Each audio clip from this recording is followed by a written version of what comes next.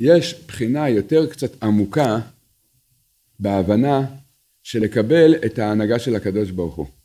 וזה העבודה שלנו, העבודה שלנו כל ימינו זה לקבל את המלכות של השם, את ההנהגה של הקדוש ברוך הוא בשלמות, זה על ידי הבחינה של אהבה ושמחה. ככל שאדם יותר זוכה באמת לקבל את הנהגת השם, הוא זוכה להיות יותר אדם שמח. בוודאי שזה לא קל, זה עבודה של כל החיים, כל החיים יש, אנחנו צריכים לעבוד על זה, אבל בד בבד, ברגע שאדם יודע את זה, וכבר הוא מתחיל לעבוד על זה, צריך לדעת עיקר הרפואות, עיקר הרפואות, הנפש של האדם הם תלויים בדבר הזה. היום ידוע שכמעט אה, כל מי שהוא פסיכולוג או קאוצ'ינג קצת מוכר, יש לו עבודה משבע בבוקר עד אחת בלילה. ומ-1 עד 7 הוא פשוט לא יכול להחזיק מעבד, אם הוא היה יכול להחזיק מעבד, היה גם אה, בשעות האלה עובד. כל הדור יש לו מצוקות נפש. זה דור, זה דור של, רבי נתן אומר, זה גלות הנפש. אנחנו עוברים פה. צריך רפואות לנפש. אנחנו צריכים רפואות לנפש. הדור שלנו צריך רפואות לנפש. רבנו פה מגלה לנו נקודה מאוד עמוקה, היסוד של כל הרפואות. ממה מתחיל כל הרפואות של הנפש של האדם? הכל מתחיל, היסוד זה איך אנחנו מסתכלים ומקבלים את ההנהגה של הקדוש ברוך הוא.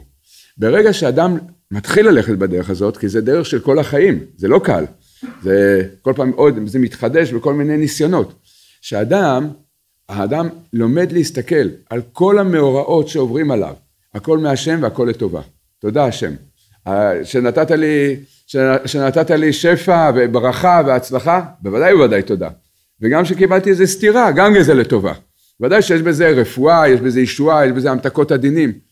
ככל שאדם זוכה יותר ללכת עם היסוד הזה, זה כל, ה, כל המעשים של האדם, כל הבניין של האדם מקבלים בכלל גוון ובחינה אחרת לגמרי. וצריך לדעת, זה צומת בחיים שלנו. יש פה צומת בחיים שלנו, יש ימינה ושמאלה. לפעמים אנחנו מגיעים בחיים שלנו, מדי פעם בפעם אנחנו מגיעים לאיזה צומת. מה הצומת? אפשר ללכת ימינה, אפשר ללכת שמאלה. שמאלה זה נקרא מסכנות. מה זה מסכנות? יש תאווה כזאתי. בלב האדם יש תאווה כזאתי. אני מסכן. זהו. תרחמו עליי. אתם לא רוצים, לא אכפת לי, אל תרחמו עליי, אבל אני מסכן. גם אם לא תרחמו עליי, לא אכפת לי.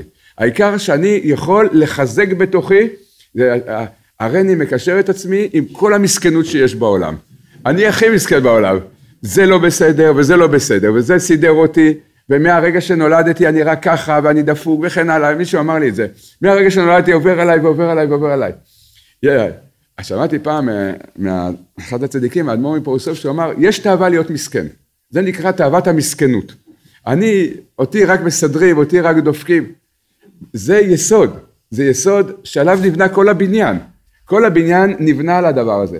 לא משנה, אחר כך, אם אתה בונה בניין, קודם כל אני מסכן, אחר כך בוא נראה מה אני עושה בחיים.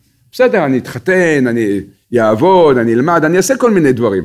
אבל, אבל כל יום, שלוש פעמים, שחרית, מנחה וערבית הוא מזכיר לכל מי שנמצא סביבו, אבל אל תשכח שאני מסכן. מדבר במרירות כזאת. מפה מתחילות, מהנקודה הזאת מתחילים, מתחילות כל הבעיות בנפש האדם. מהנקודה הזאת שאדם מסכן, הקדוש ברוך הוא אומר לו בדרך שאדם רוצה ללכת מוליכים אותו. אתה רוצה להיות מסכן? אני אעשה אותך מסכן, מה אני אעשה? אתה רוצה להיות מסכן. יש לך תאווה למסכנות, אז תהיה מסכן. זה, זה הפנייה שמאלה. מה לעומת זה יש? לעומת זה יש את היסוד, כל מה שהשם עושה הכל לטובה. לא יודע, קשה לי, כואב לי, אני עכשיו אה, בוכה קצת, בסדר, אנחנו בני אדם, אנחנו יכולים להתלונן, אנחנו יכולים... אבל ברגע שקצת חוזר הדעת למקום, ברגע שאדם רק יכול, מיד אדם אומר, השם, סליחה, הכל לטובה, אתה צודק, הייתי צריך לקבל את המכה הזאת, הייתי צריך לקבל את הסתירה הזאת, תודה, ובגלל שאני מבין שהכל לטובה, אז אני לוקח חבר, לא משנה, אם יש, אם יש לך ילדים קטנים, תפוס ילדים, חבר, לא משנה מישהו, אם אתה לבד, תעשה את זה לבד. תרקוד שלוש דקות משמחה, כי הכל לטובה. כשאדם מאיר לו בלב שהכל לטובה, צריך לרקוד. לכן, כל איזה שעתיים צריך לעשות שלוש, שעות, שלוש דקות ריקוד. שלוש דקות ריקוד, השם, הכל לטובה. אם האדם מאוד עסוק, כרגע בתוך העבודה, אין לו זמן, אז תקפוץ שלוש פעמים, תגיד, אני יוצא, כדי לצאת ידי חובת הריקוד, אני קפצתי שלוש פעמים. וזה, טוב לזמר לשמך העליון, טוב להודות לשם ולזמר לשמך העליון. צריך לדעת פעם זה היה עצה מאוד מאוד טובה בעבודת השם. היום זה פיקוח נפש הדבר הזה. כי האנשים מסתובבים עם כאלה מצוקות ובעיות. הם הולכים לזה, מישהו סיפר לי, הלך לאיזה פסיכולוג או פסיכיאטר, אני לא זוכר, מישהו מאוד ידוע, אמר לו, תשמע, אני עצוב, אני עובר עליי, אני זה, וכן הלאה. אז הוא אמר לו, יודעים כסף, הוא אמר לו, אולי תיסע לרבירה הצרפתית, אולי תיסע לזה, תעשה טיולים בעולם. דמיונות. הוא לא מבין, אותו פסיכולוג, לא מבין, תשמע, אתה לוקח את, את המסכנות הזאת, אתה עולה איתה למטוס. אני תטוס איתך גם לשם, תיסע לצרפת, המסכנות תטוס איתך לצרפת. לכל מקום שתיסע, היא נוסעת איתך ביחד. אתה חושב, שאם, אתה חושב שהיא נשארת בארץ אם אתה עולה למטוס לצרפת? זה לא הולך ככה, זה בתוך הנפש של האדם, איפה שאדם ילך, היא תבוא איתו. אנחנו, אם לא יודעים את הנקודה הנכונה, היא לא נפטרת מהאדם. הפוך, היא רק הולכת ומסתבכת עוד ועוד בתוך האדם. הוא אומר, זה יסוד מאוד גדול, רבנו מגלה לנו. ההתחלה של כל הרפואות של האדם, זה שאדם יודע כל מה שקורה לי מאת השם לטובתי. בהתחלה זה קשה שזה יאיר בשלמות בלב. אם מישהו בא ונותן לנו סטירה, בדיוק מבזה אותנו, בדיוק עשה לנו איזה תרגיל, ודאי שלא קל לשמוח באותו רגע. בוודאי לכל אחד מאיתנו זה לא קל לשמוח. אבל אנחנו הולכים בדרך הזאת. אנחנו משתדלים להגיע למקום הזה. זאת אומרת, קודם כל אדם מבין את זה בשכלו. בהתחלה זה להבין בשכל. ההשבה ללב זה עבודה של הרבה שנים, ודאי שזה הרבה שנים. אבל ברגע שאדם מתחיל רק ללכת בדרך הזאת, כבר מתחיל האדם להיות רפואות לאדם. רק כשאדם מתחיל להבין, כן, השם לטובה, כל מה שהשם עושה לטובה. מישהו בא ואמר לי, אמרתי לו את זה, אה, אז הוא אמר לי, מה, אתה רוצה להגיד לי שדש זה לטובה? אמרתי לו, תראה, דש, גם דש זה לטובה, אני לא יודע למה. לא יודע איך זה להוריד כמה ש"דדים, הביא אותם, אני לא יודע, מאיזה מדור בגיהנום, הוריד לפה עיבר בתוך כמה מוסלמים, איזה ש"דדים, מזיקי, מזיקי עלמא, הוריד אותם, זה בסך הכל מזיקים שבאו מאיזה היכל טומאה, זה לא...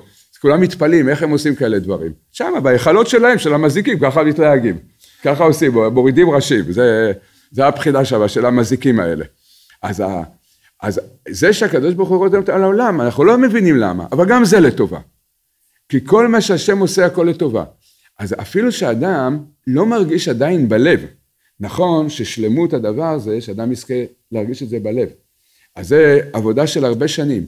אבל עצם העובדה שאדם מקבל, זה האמת. האמת בשכל, לא בלב, בשכל. כל מאן דאביד רחמנא לתערבית, כל מה שהשם עושה, הכל לטובה. עכשיו מתחילים להילחם על זה. הנה, עכשיו קיבלתי סטירה, אני בצער, אני בעצבות. אז תרקוד שלוש דקות, אמרנו, מי שלא יכול לרקוד, שלוש קפיצות, יוצא, יוצא ידי חובת שלוש דקות ריקוד. שקופץ שלוש פעמים באוויר, ואומר, למשל, אפשר לעשות את זה, אתה באמצע העבודה, אולי אתה עובד באיזה משרד בתל אביב, אז אה, אדרבה, פתאום יראו אותך בעבודה, אולי אתה גם מנהל, פתאום יראו אותך בעבודה, שלוש פעמים קופץ. וואי, יגידו, מה, השתגע? מה הוא קופץ עכשיו באמצע העבודה? אם, אם ישאלו אותך למה קפצת, תגיד להם את כל התיאוריה הזאת. תגיד להם, תשמעו, רבי נחמן מברסלב אמר שעל כל דבר שקורה צריך שלוש דקות לרקוד. זה אין לי אומץ לרקוד לפניכם שלוש דקות, אז אני יכול לצאת ידי חובה בשלוש קפיצות באוויר. תראו לכם, מי שיגיד את זה, אז עכשיו לא יעזבו אותו יותר. מה הכוונה? יגידו לנו, תגיד, מי זה, מי זה רבי נחמן הזה? מה זה הדברים האלה שהוא גמר לך? הנשמה שלהם רוצה לשמוע את הדברים האלה. זה כל יהודי. אם יהיה מישהו בממשלה שיקפוץ שלוש פעמים, כל, כל הממשלה, רק תשאל אותו. כל יום הוא יצטרך להעביר שיחת חברים בממשלה. אתה לא יגיד לו, אתה לא תעביר פה שיחת חברים של התחזקות, אני אפטר אותך מהממשלה. זה, זה, זה, זה היום, כמו שאמרנו קודם, כל מי שקצת שומע, רואה, מדבר עם אנשים, רואה. הדור עובר מצוקות ומכות בתוך הנפש. זה, זה, זה פלא גדול. כולם מחפשים. מה הפתרון? הפתרון זה, זה הדרך. זה לא פתרון, זה לא אקמול עובר הכאב ראש. זה הדרך. הדרך זה לעבוד ולהשיב ולחזק בתוך ליבנו את הנקודה הזאת, כל מה שהשם עושה הכל לטובה. ומי שזוכה ללכת בדרך הזאת, לאט לאט ככל שהוא זוכה יותר לחיות את זה ולהשיב את זה ללב, לאט לאט הזעם זוכה לרפואות נפש עצומות. וכל זה מדוע? כי באמת זה האמת. זה לא עכשיו פתרון לבעיות נפש, אלא זה האמת. שהקדוש ברוך הוא מסובב את כל הבריאה כולה, את כל כדור הארץ, כל המאורעות, ויש עכשיו הרבה הרבה דברים בעולם. הכל הכל לטובתנו, הכל זה, בשביל, הכל זה בשבילנו, בין אם אנחנו מבינים בין אם אנחנו לא מבינים. אז ככל שזוכים לזה, רבנו אומר, זה, הניקו, זה הבחינה השנייה במידת הענווה.